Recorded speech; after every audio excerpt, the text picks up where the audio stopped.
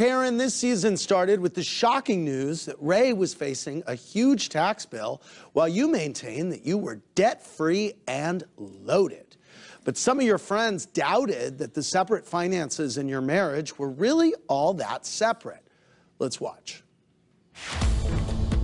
Oh my God. Did you see what's going on with Karen? Now we're clear. This is why she moved to Great Falls. Karen knows Ray owes this money. Karen, stop lying.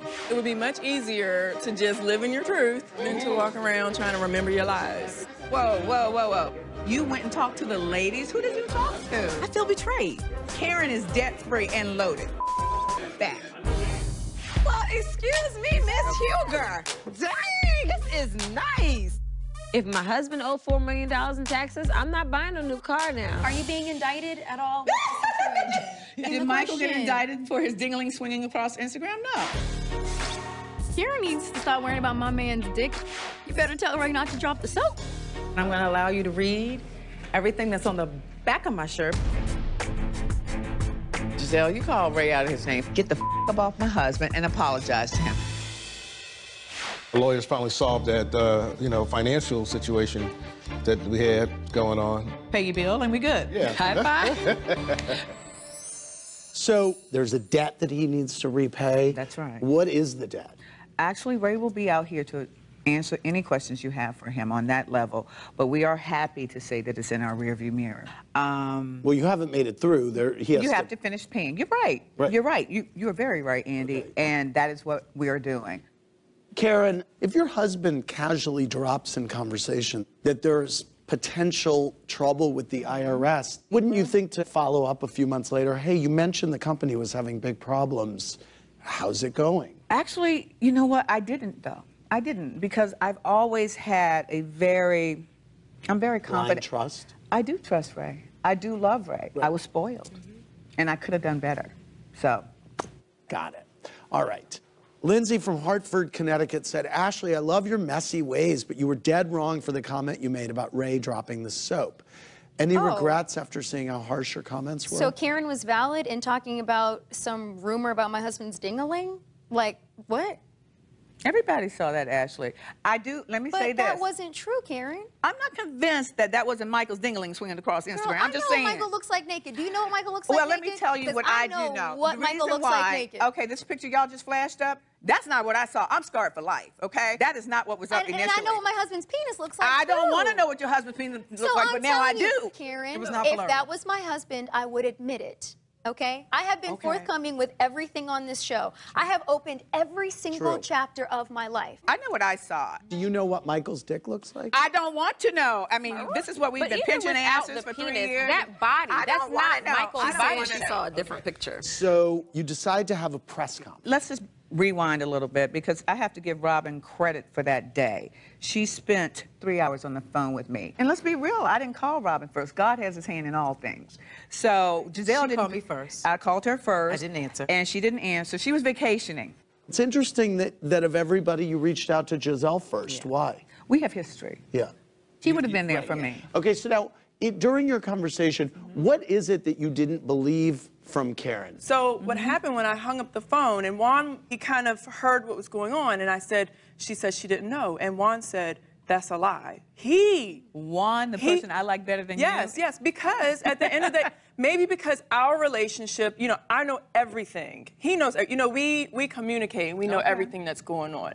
So when he kind of put that out there, it had me thinking, am I being manipulated? Does she really know? Is she saying she doesn't know because she's trying to cover up for other things? And my mind just was racing. And so when I told you that I don't believe you. I was being sincere. I wanted to be honest with you, but I wanted you to know I did have my doubts. Let me say this about Robyn. It was in the Washington Post.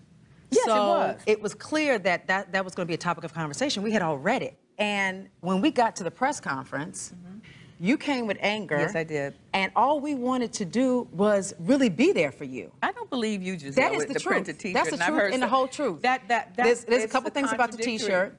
In my mind, I'm thinking that, you. You and. Robyn, Robyn said, "Don't do it. Karen gonna be mad." Blah blah blah. And I was like, "Look, I think the press conference is silly, so I'm gonna be silly." That wasn't silly though. That was malicious. Why show up in Okay, camouflage? Yes. okay. at G.I. Jane. Look at you, G.I. Jane, yes. I came Excuse prepared. me. Wow. Ready for battle? Second thought about peanuts. Well, you know what? Hold on. Give me some It was well planned, and I had heard you all were talking about me behind my back, basically celebrating the trials that Ray was going through. I was pissed. Why would we do That this? No, That is but never it's on been the done. tape. It's that. on the tape, and it really. okay, so you thought it was Schadenfreude, and you thought that I wanted to see who was my friend Andy at that point because these girls are not have not been the best friends. Let's be real. Let me I, ask you a question. I, don't but owe Karen, them Karen, no, I know. I'm not saying life. about Let's what you owe them. very clear. Don't you think that you would save yourself a lot of grief if No, you came out with some Not of this stuff? Yeah. You would The shut end. them up. You know what? But my thing with that is, Andy, at that time, I wasn't thinking about that. Honestly, I was dealing with two sick parents. I said, Mama, you can't go yet because I'm not done.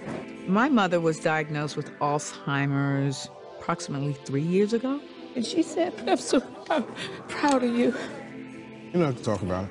I had my husband. I was What about the on- viewers?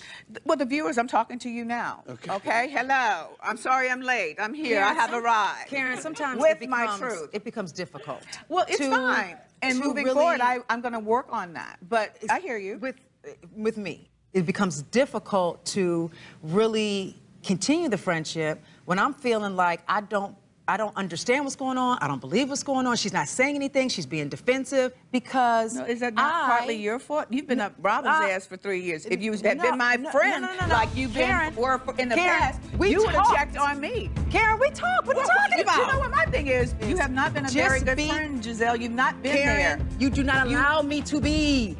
You don't Gizelle, allow you got me to to put be. yourself out there. All you can do You is tell the truth. Coming up. You want the strongest women I know. I know. I know. I know.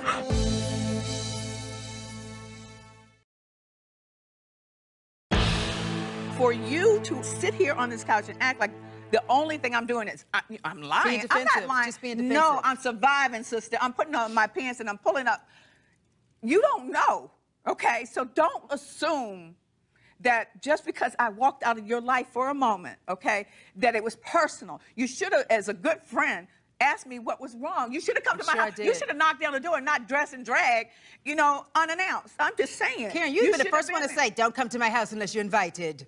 So I have Gizelle, I came to your house.